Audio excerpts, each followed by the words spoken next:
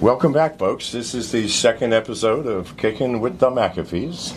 This week, we will introduce you to what pussy is the best pussy, white or black. Yeah. Let me ask you about eating pussy, okay? I don't eat them.